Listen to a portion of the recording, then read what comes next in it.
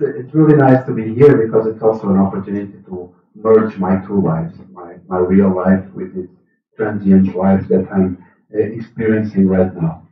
And um, what I'm going to um, talk to you about is um, some of the challenges that education systems are facing around the world. The, and we've been discussing some of these issues in the program so far. Um, and the way I'm going to phrase this challenge is basically what are we educating for, who we are educating, and how we have to educate to reach this, this purpose. This is not an easy debate. We sit, the different governments of the world sit in different forums um, with UNESCO, with OECD, uh, in the European Commission in our case, and uh, these debates are very heated. Uh, sometimes we think that we are using the same words and the same principles in the same manner, but when we go to the details, we are doing radically different things. So I'd like to give you a bit this the, the image of this global debate that is going on, uh, these global challenges that uh, we are embracing right now. Uh, to give you a bit of uh, just a small sample of the Portuguese experience, what we are doing right now, and especially to try to discuss with you uh, one of the challenges, one of the bigger challenges that we face, which is this democratization of schooling. When we open the gates of schools to everyone, we have one consequence that is sometimes not very well understood. And the consequence is that the boundaries between formal education, informal education, non-formal education get blurred. And this is very challenging for formal education and for non-formal education because all of a sudden we don't know whose responsibility is for each of the aspects in which we are uh, uh, supposed to educate. But first of all, I'd like to give a big thank you for inviting me here. It's, it's very nice. For two reasons, I forgot my scarf, but uh, one of the reasons why I'm happy is one of the few occasions in past two and a half years which I don't have to wear a tie and that, that makes me very happy. Um, so,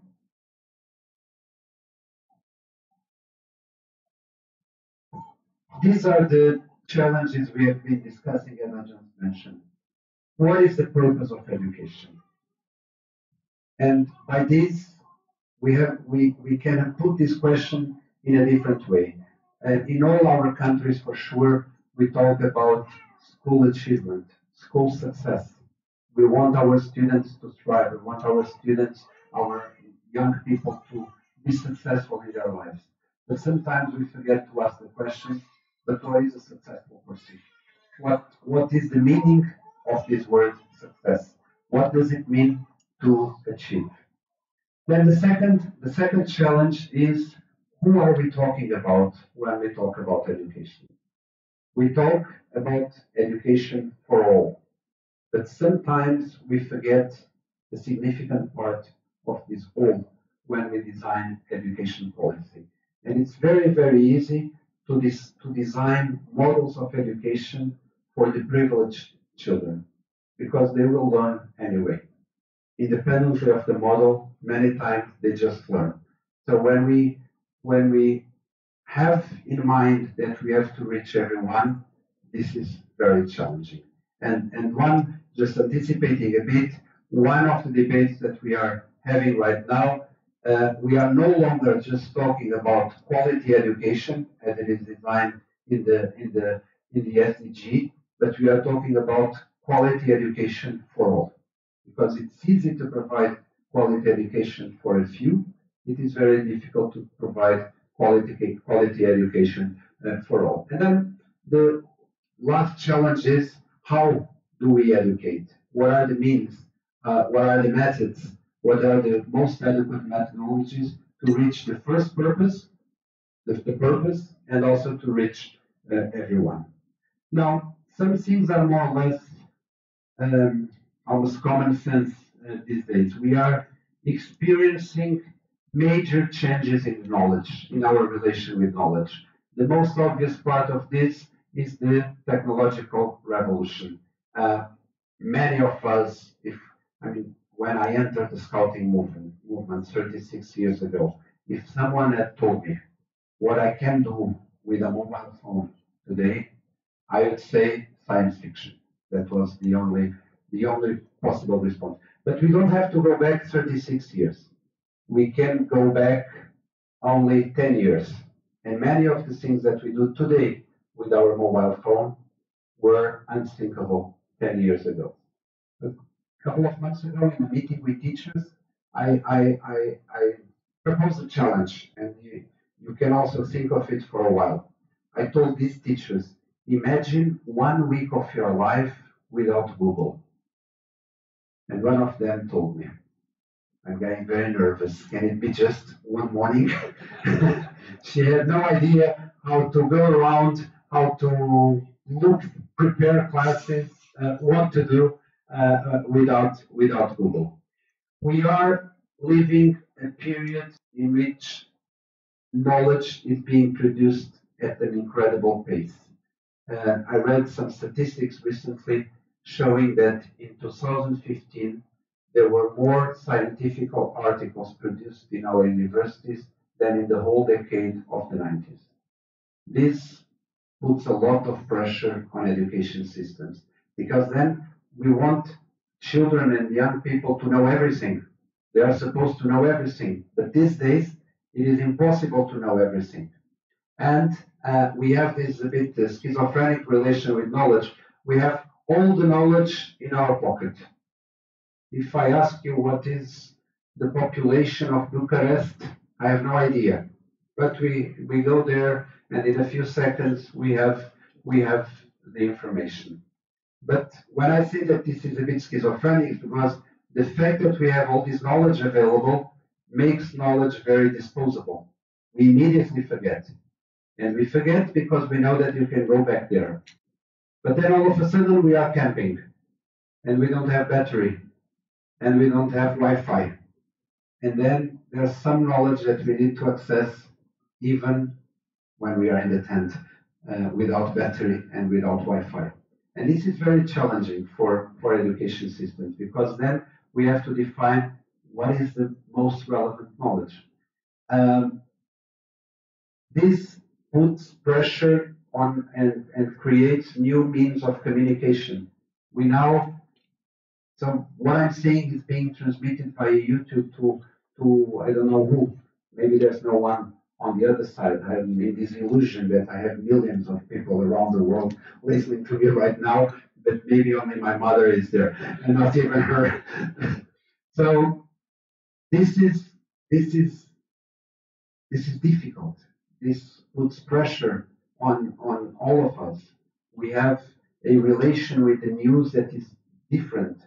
Want immediate things and and this has an impact on the quality of information. So and, and technology in education is not a challenge by itself. We have this generation of digital natives, so it's not difficult to teach kids how to deal with the technology. They teach us. They they are born with the gestures like this instead of this. So they know things much better than we do and much quicker than we do. But then we could think, okay, so with all this knowledge, with all this science, with all this technology, the world is a much better place. Things are going really well. And we know, unfortunately, that this is not true. We might expect that all the science in the world was making us live in a better place. But we haven't. These are just some of the challenges that we're facing right now. Climate changes, water. Water is a big topic for this next couple of decades. There will be no water for all of us.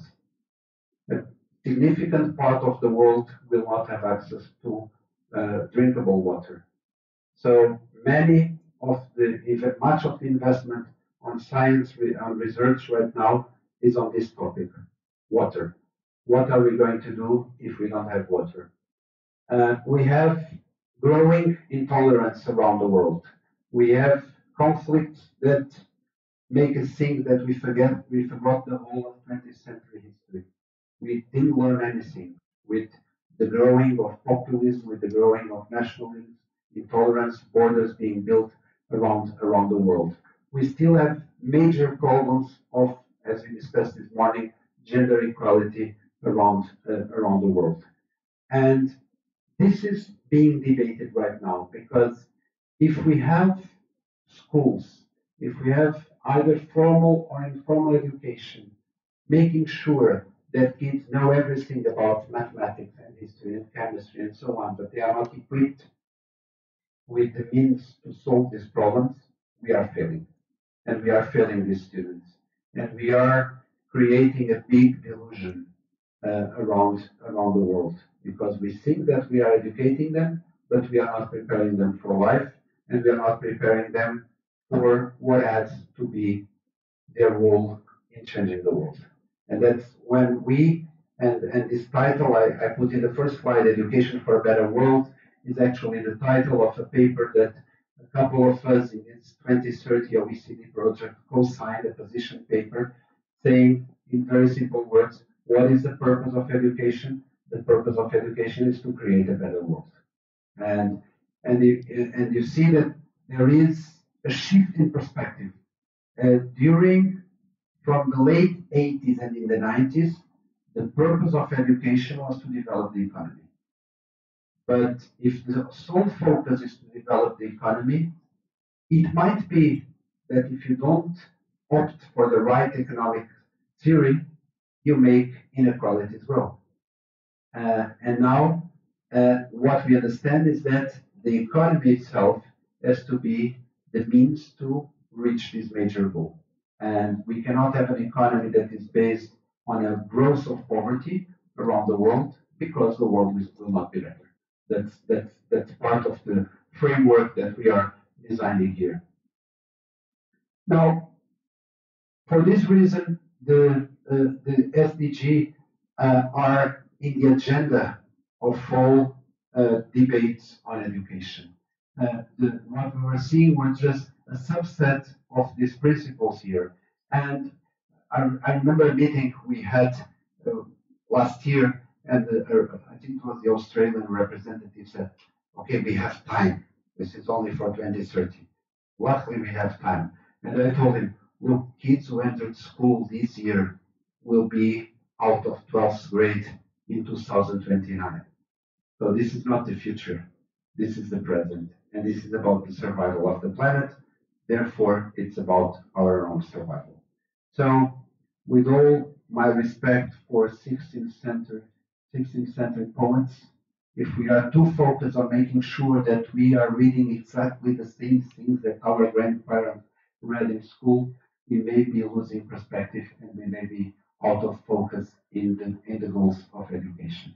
Now, this is very, very difficult because the way the curriculum is designed around the world, this is not a Portuguese problem or a French problem, it's it's like this box where you want to put everything. You want to put whatever you learned, whatever your parents learned, but also the new topics and the new challenges and the new problems. And then you only have a limited time to be in school. But you want everything to be learned. And this is very difficult because we have a curriculum overload problem, a serious problem, and we have to make options. We have to make options, and there's a moment in which we sit and discuss is this a priority? And we're trying to establish a global consensus on saying this is a priority for education system. Now, the second challenge is who are we educating? And we know that unfortunately, many children around the world are not receiving education at all or quality education. We know that there is a huge gap between boys and girls. So in many, many countries, girls don't have access to education, either because they are not allowed to, or because there is segregation and discrimination. And also one of the one of the premises of this, this work we are doing is, that is, is this one is education is about human rights. And it's very interesting to listen to students. And, and uh, I, will, I will tell you about our experience in listening to students. and you will recognize my scouting background in the, in the, in the, in the design of education policy.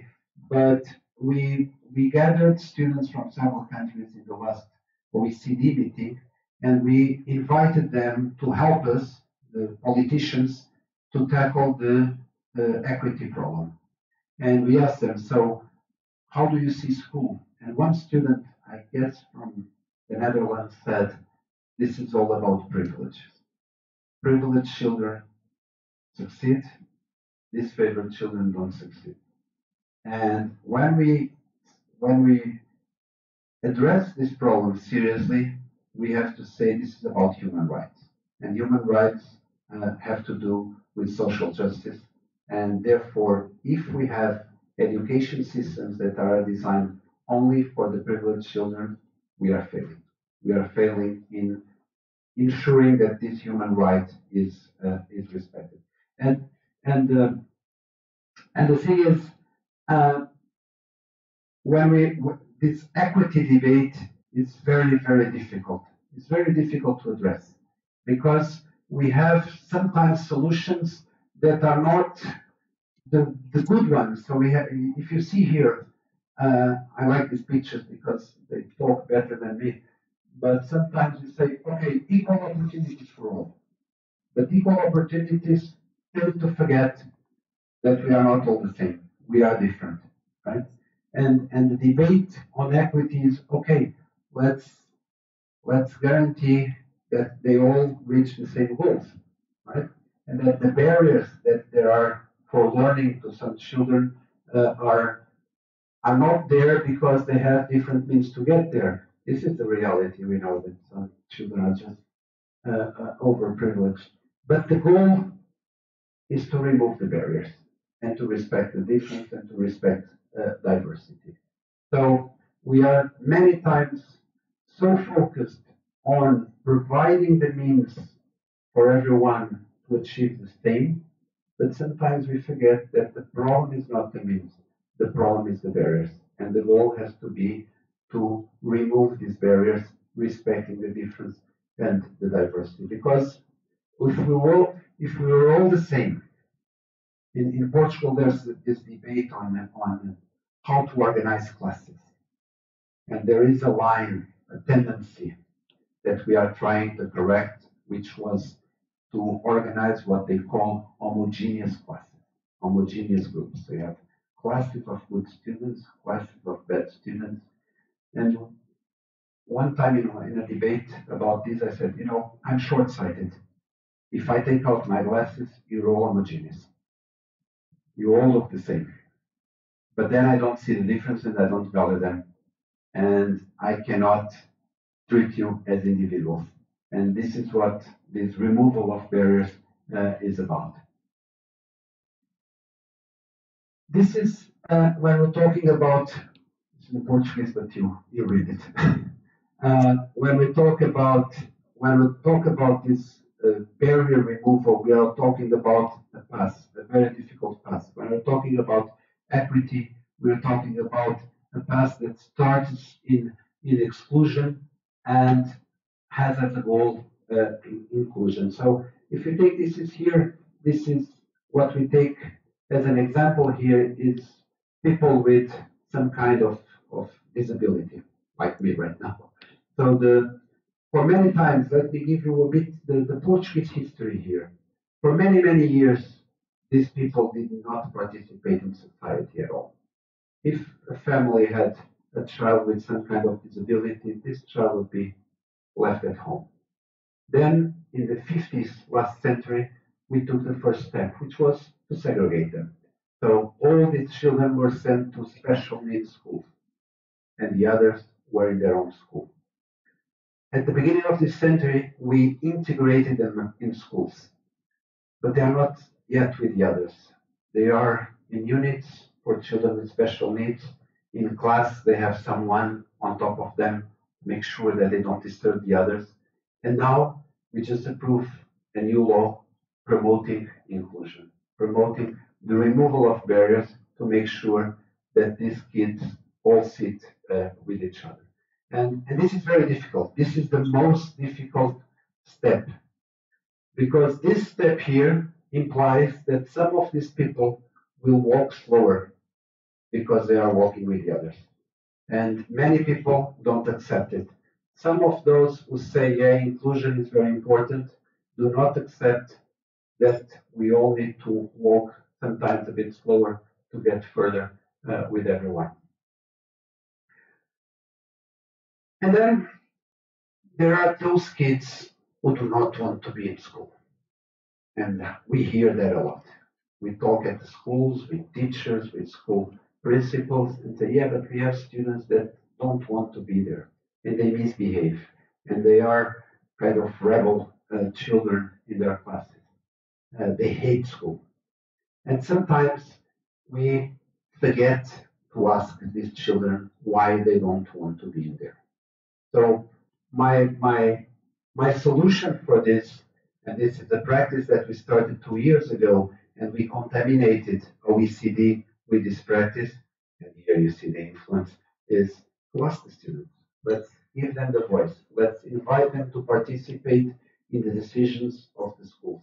So what we started doing two years ago was we were starting to introduce changes in the legal system for schools in Portugal, and we had a tradition of listening to the academia, parent representatives, teacher unions, teacher societies, school principals, but we always forgot to involve the only ones who are really interested in the success, the students.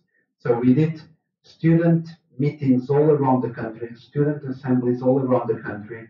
We elected representatives of the students.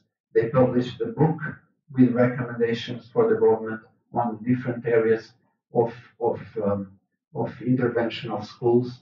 And now I'm very happy to share with you that we just approved the, the new law on the curriculum, and one article in this law recommends that schools have to promote regular and systematic uh, spaces for students to be heard about curriculum development and the effectiveness of how they learn. Uh, very easy to put things in the law. It's very difficult to stimulate practice, but that's the, ne- the next step is to continue this. This is the, these are just pictures of these student meetings, these student uh, involvement meetings. This one is when they presented the book on, uh, they, they call it the Pros of Education Inspire. And then it's a very nice book just with quotes from what they heard around the country with, with. So what we're doing is to have, to try to make sure that when we're talking about education, we are talking about everyone. No one can be left behind. No one can be left outside. Uh, I had a recent experience. A student who had a case of violence, extreme violence in the school. He was going to be suspended. I visited the school by accident. He was still there. And I made the obvious thing to ask him why. Not to justify an act of violence, but to try to understand what, uh, what was going on. And first he didn't want to talk to me, but then I insisted and I pushed. And he grabbed my arm and he said, No one knows, but I'm alone at home for a week because my whole family was, was arrested. And then we expect that this teenager sits in class in the same condition as the one that, you know, had breakfast and, uh, and good night's sleep and everything. It's not fair. It's not fair. And when we give students the voice, we can understand them better. Then the third challenge is how. How do we do this? And we have, uh, we know that we have, this is, this is a, a very old picture in which we have this factory-like kind of education. Students are all expected to process whatever is in the books and not question anything. Or they are expected to think and act exactly like the teacher, even if the teacher is wrong. So school, and this this has been studied, it's a bit sad, but it is known that school kills creativity many times. We have there is a, a, a, very nice study done in the in the United States with a cohort of students that was followed for for for a decade, and they studied the creative singing of these children in a, in a preschool, and they followed them up until they were, I guess, in ninth grade, and the creative singing was dying out. So the effect of schooling was negative for creativity. Why? Because of standardization. Kids are expected to reproduce whatever is in the textbook, to say exactly as the teacher said, instead of stimulating their independence, their critical thinking, their autonomy, and their ability to look at problems and solve them. And sometimes we think that we are doing uh, the right thing. You cannot read this, but sometimes we think that putting a machine, a device in the class solves everything. Now we are being modern. Now we are being fashionable. What this teacher is saying to the students are just go to www.criticalthinking.com and click on answers. So sometimes we think that if we have a device, we are solving the problem, but this is not what this is about. It's also about assessing. This is a very famous picture in which the, the teacher is telling to the different animals, for a fair selection, everywhere, everybody has to take the same exam. Please climb the tree. And we we assume that fairness comes from equal means, equal, equal treatment, equal assessment tools. But it can't just be the way to promote that. Those who are already able to do something will pass, and those that have different characteristics will fail. Now, what we see and what we've been we are discussing now, and this is when we talk about this OECD uh, 2030 skills, we are trying to identify what is the set of relevant skills for students to be able to succeed throughout their life. Not to succeed in school, to succeed throughout their life. And the stage at which we are right now is we are going from theory to practice. So now we want to study schools and cases in which it is possible to do things in a different way. And um, anticipating a bit what I'm going to say at the end, uh, we see that many of the, aspects and characteristics of non-formal education are invading schools.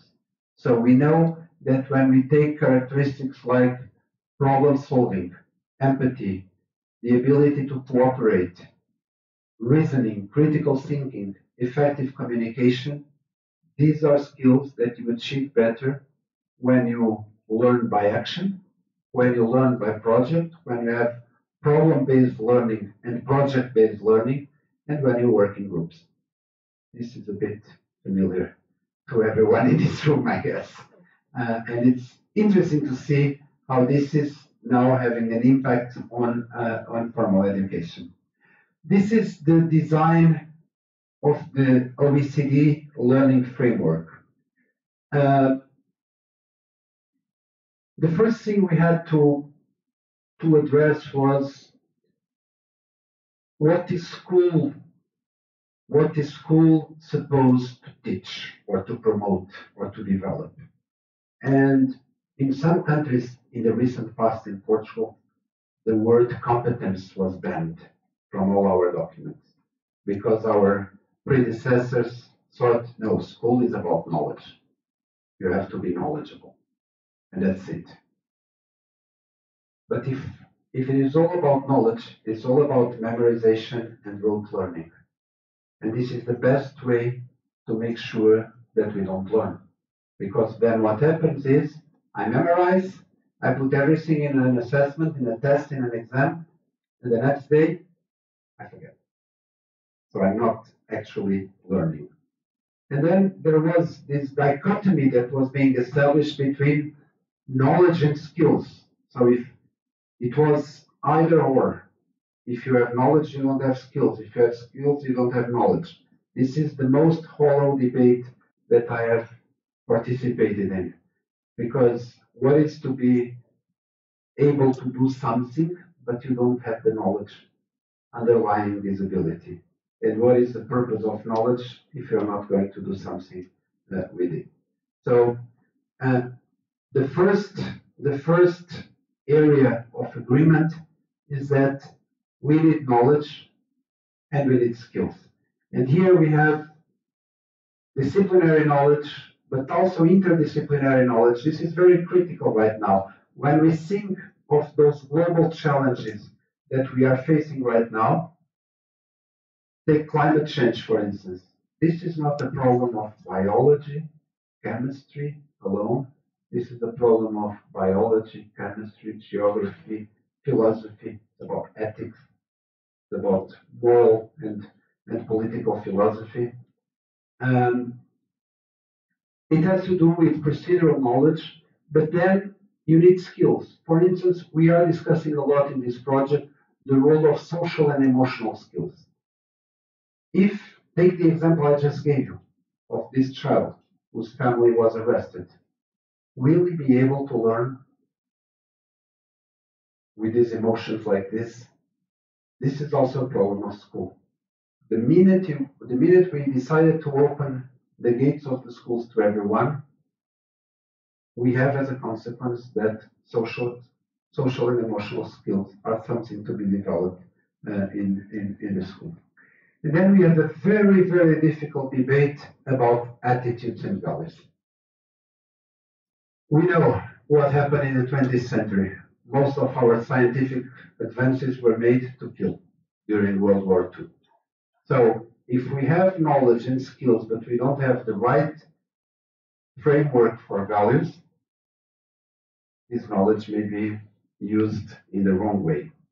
But that's the most difficult part because then we have to establish who decides what is the right way and the wrong way. Which values are good, which values are bad. And this is a very, very heated debate in this in this project. So when we're talking about competencies, we're talking about this crossing of knowledge, skills, attitudes, and values. And then here we get to the purpose of all this. We place the student in the center. This is also commonplace. Everyone says that the student is in the center. But the goal of the whole thing is not the student. The goal of the whole thing is well-being. This concept of well-being that I talked to you about uh, before. So this idea that we want to educate individuals so that they take action on their own life and on the community's life to promote good things, to promote a world in which everyone is well. Now, let me just tell you a bit what is happening in Portugal, what we're doing with all this, and we have this uh, um, mutual influence in Portugal. So we are very actively participating in this project, this OECD project of 2030 skills. Uh, and we are benefiting from what is being built in this project, and the project is benefiting from what we've been doing uh, in, in, Portugal. So, just to give you some background, we have, I'm, I'm very proud of our education system. We have uh, 44 years of democracy. So we have 44 years of democratic school. That's when we open the gates to everyone. And we have very, very good uh, uh, numbers. And I'll, I'll just mention uh, two of them. We had in the 60s and 74 was more or less the same. One quarter of our population could not read and write. And in 40, 44 years, we went from 26% to 5%. This, this 5% is still big. We are not happy about it, but this decline in the rate of illiteracy is uh, almost unique. Few countries manage to, to go so fast in such a, a short period. Another number we had we had before we had 1.3% uh, of high school enrollment in 61 around 40% in 74, and now this, this number is no longer updated. We have more than 80% of our uh, adolescents in, in high school. Again, from 1 to 80 something uh, in 40 years is, is a lot. Uh, also, this is just a graph showing the early dropout rates in Portugal. We only go back 20 years and we have 50% of early dropout. So half of our students, this has an impact now on the qualification of our adults. Many of our adults have low skills and low qualification because they dropped out of school too early. So we are investing on adult qualification right now because of this. But we went from 50% to 12% now. Still, we are one of the worst countries in Europe. We are not happy about it, but it's a very good uh, evolution in, in 20 years in this in this case. And this is known. Everyone is excited about Portugal in, in at OECD in particular because we have a constant rise in PISA uh, in the three domains: uh, numeracy, literacy, and science. Uh, I sometimes tell people so there are some news around the world saying Portugal is the new Finland, and I say no, we aren't. We aren't because we are happy because we have a constant progress, but we're halfway the table and we have a big, big challenge, which is equity. So what we, we could say, okay, with all these numbers, everything is done in Portugal. We are very happy. Unfortunately not. We have retention in Portugal is very, very high. We are one of the countries in the world where students uh, fail most with the higher levels of retention and almost one third of our students do not finish high school in due time. It should be three years, they take longer. Uh, and is a lot. One third is too much. We cannot be happy about it. Now, why aren't we happy about it? We could say, well, it's a problem of numbers, it's a problem of statistics. No, it isn't. The problem is, first, the quality of learning. This means that there are many students who are not actually learning. And above all, a problem of social justice. Why? Because the main predictor of retention in Portugal, it's common to other countries, but in Portugal it's very, very strong, is poverty. Rich kids pass, poor kids fail. And this is not fair. If we have an education system that is designed only for the privileged children, this is not good enough. This is not. Uh, this is not. Now, this is very, very complex. It's a very complex problem because what you see is the predictor of retention is outside the school. It's the socioeconomic status of the families. But the, predict, the predictors of learning are inside the school. And this is a very difficult, this is a very difficult mix. Now, I will not bother with this. This is this is the structured response we are giving to this problem. It goes from investment in preschool to this adult qualification problem. I'd like to focus on four of these uh, areas. The first one, very much aligned with the 2030 skills, the first thing we did was to launch a national debate on, okay, what is the mission of school? What do we expect from a student after 12 years of, of compulsory schooling? School is compulsory from 6 to 18 uh, in Portugal. And so we, we had a very much participated debate on this question and this led to the formulation of a student profile with the identification of 10 areas of, of competence. Language and text, information and communication, reasoning and problem solving, autonomy and personal development, critical and creative thinking, scientific and technological knowledge, interpersonal relationship, individual and collective well-being and health, aesthetic and artistic sensitivity, body awareness, and body domain. Now, you do not recognize individual subjects here. Try to find chemistry there. You will find it in different areas of competence.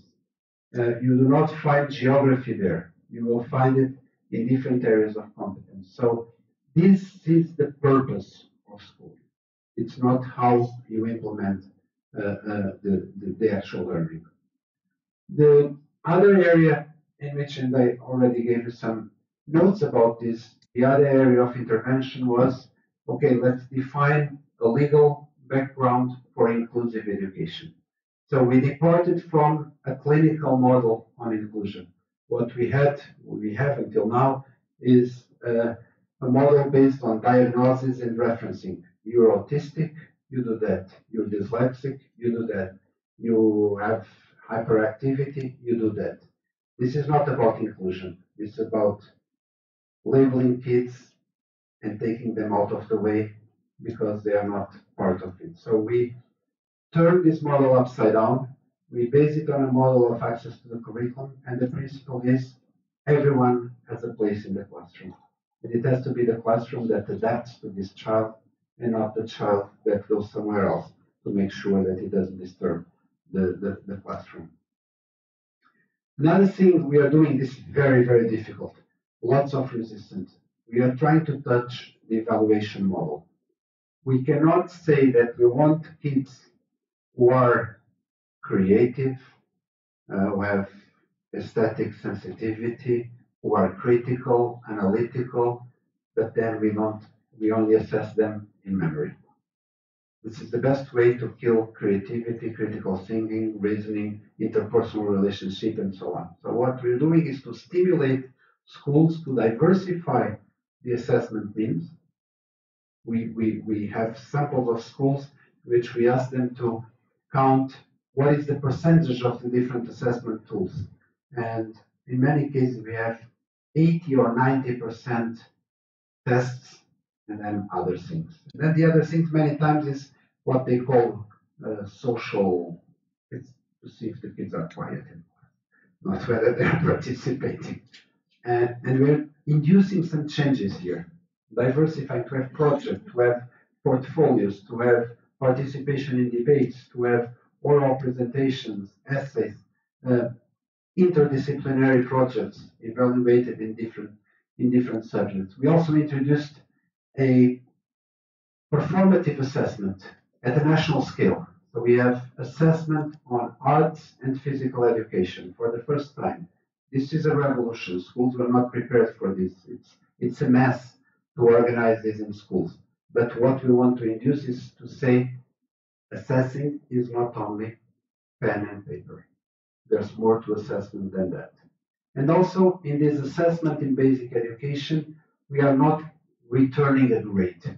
We are returning a report with qualitative information on the student. The idea is using someone's image. If I go to the doctor to show my foot that doesn't move, I don't want the doctor to look at me and say, nine. I want the doctor to say, this is what you have, this is what you need to do, this is the progress you made so far. And this is what we're trying to induce uh, with this with this model. Then different very difficult work.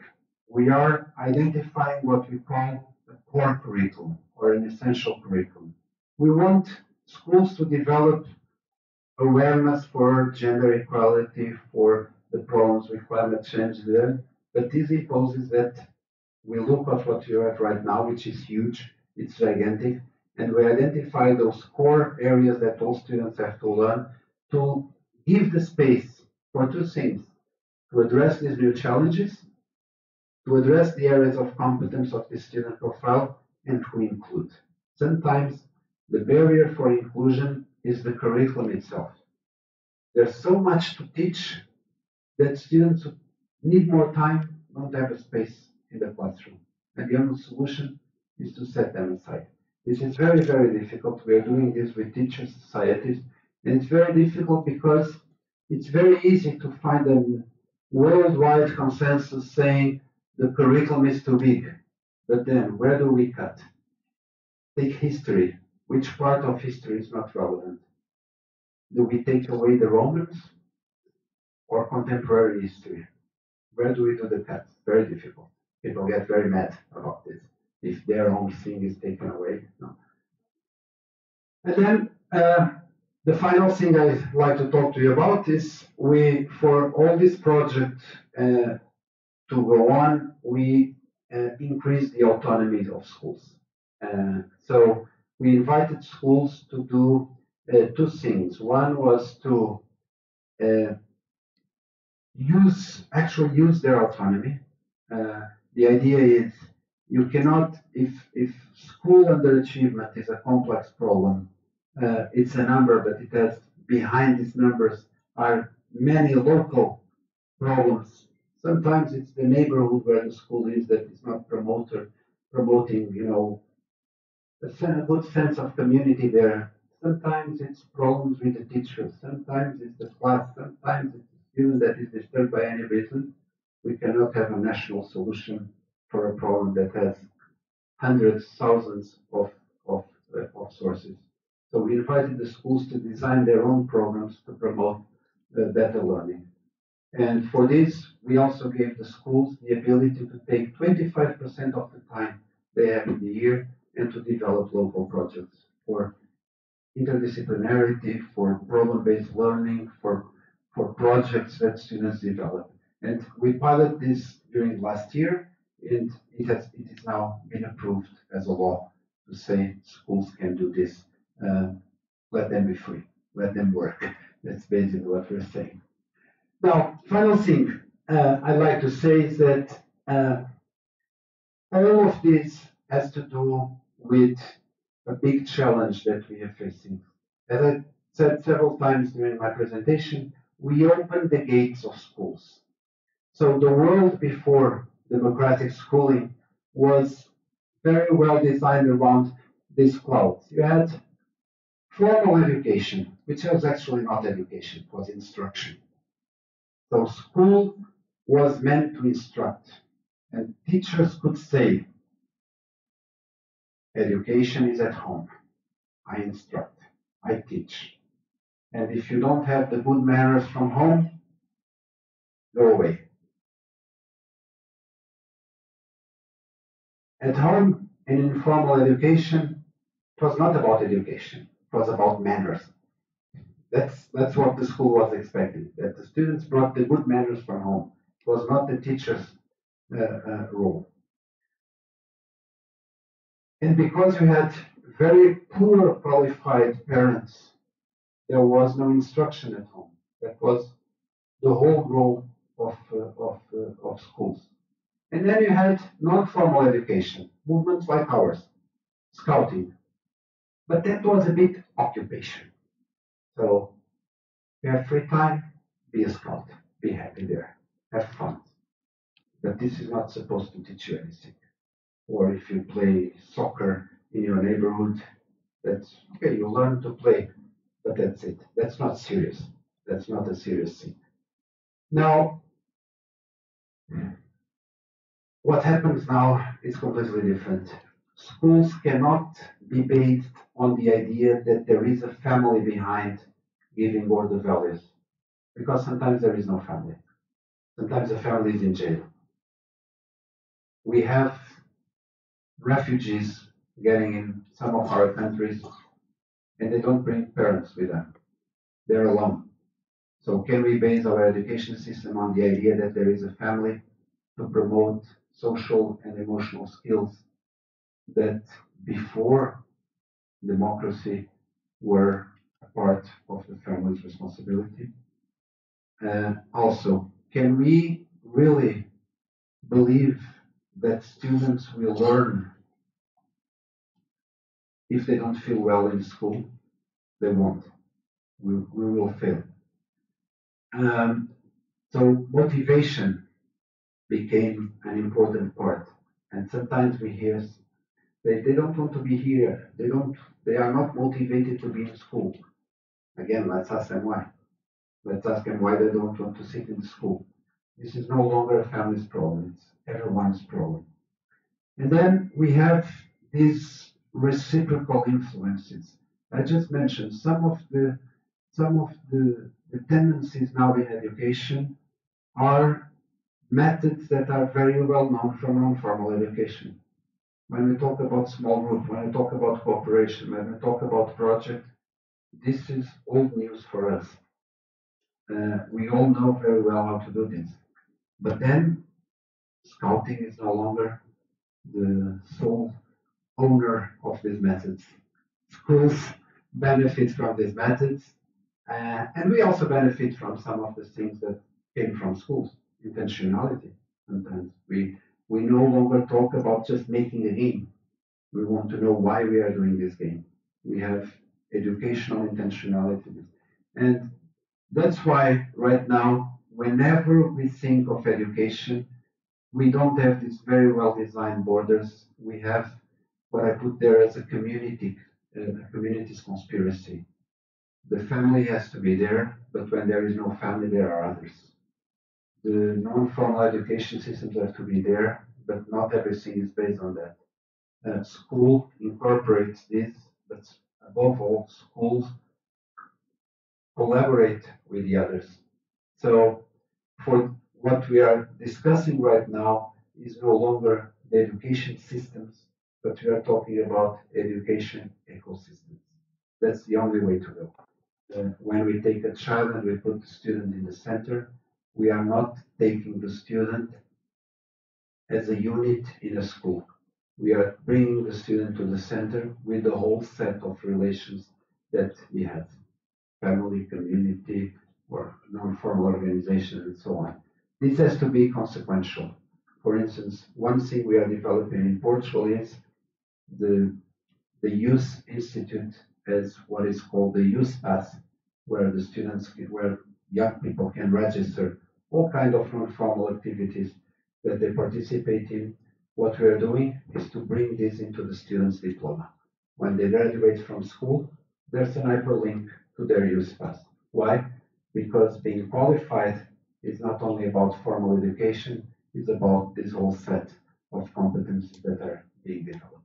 And I stop here with my political inspiration on education from Mandela, who says education is the most powerful weapon which you can use to change the world. So this is the good battle, and we'll keep fighting with this weapon. Thank you.